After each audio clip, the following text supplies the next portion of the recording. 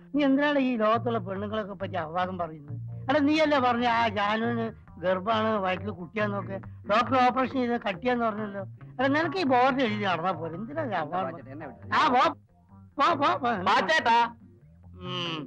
പാച്ചു എന്ന് വിളിച്ചാ മതി.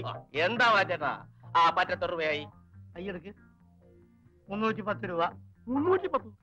ഇതെന്താ അക്ഷയ മാത്രം അല്ല ചെമ്പ് മാത്രം അല്ല തന്നാലും തന്നാലും തീരുന്നില്ല. ആട്ടെ കറക്റ്റ് കണക്ക് പറ. മുന്നൂറ്റി പത്ത് രൂപ ഇരുപത്തിയഞ്ച് പൈസ. നിന്റെ ഒക്കെ കണക്കേ എന്റെ മനസ്സിലുണ്ട്. അത്രയല്ലേ ആയുള്ളൂ. ആ. നാനൂറ് തികഞ്ഞില്ലല്ലോ. പാച്ചേട്ടൻ പോയി.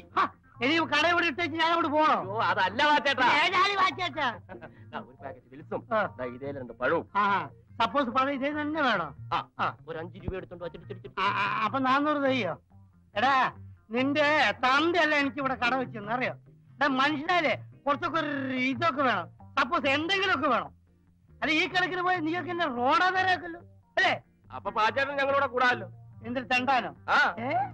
ചേടാ നിങ്ങളെ പറച്ചിൽ കേട്ടാതൊന്നും എനിക്ക് നോട്ടടിയാ തൊഴിലൊന്നും എന്റെ കൈ കാശുണ്ടേ തരുവോ? ഇല്ലാഞ്ഞിട്ട്.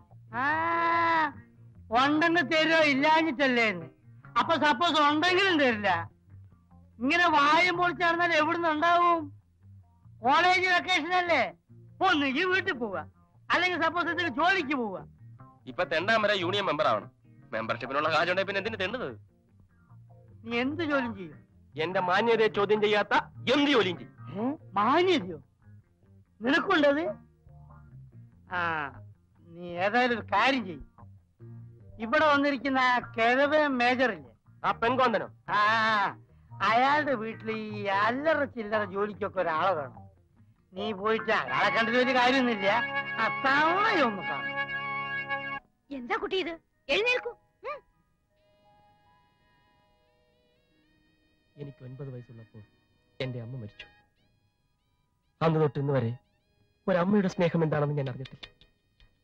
ഇന്ന് ഇപ്പോൾ ഇവിടെ വെച്ച് ഞാൻ എന്റെ അമ്മയെ കണ്ടു. അയ്യേ അയൽവക്കത്ത് കാണും. ഗോവിന്റെ വീട് എവിടെയാ? കാസർഗോഡ്. ഒരു പാവപ്പെട്ട കുടുംബം. കെട്ടിക്കാറായ ഒൻപത് സഹോദരിമാർ. ബി എ പാസ്സായ ഞാൻ നാടുവിട്ടു ഒരു ജോലിക്ക് വേണ്ടി മുട്ടാത്ത വാതിലുകളില്ല. ചുവപ്പ് നാട് ഭയങ്കര ചുവപ്പ് നാട്. അങ്ങനെ ഒരു അസുഖമുണ്ടോ അസുഖമല്ലമേ റെഡ് ടേപ്പിസം എന്റെ സർട്ടിഫിക്കറ്റുകൾ ഫയലിൽ കുടുങ്ങി. എടുക്കാൻ പറ്റില്ലേ കുരുങ്ങിപ്പോയി. അയ്യോ കഷ്ടം. എന്നിട്ട്?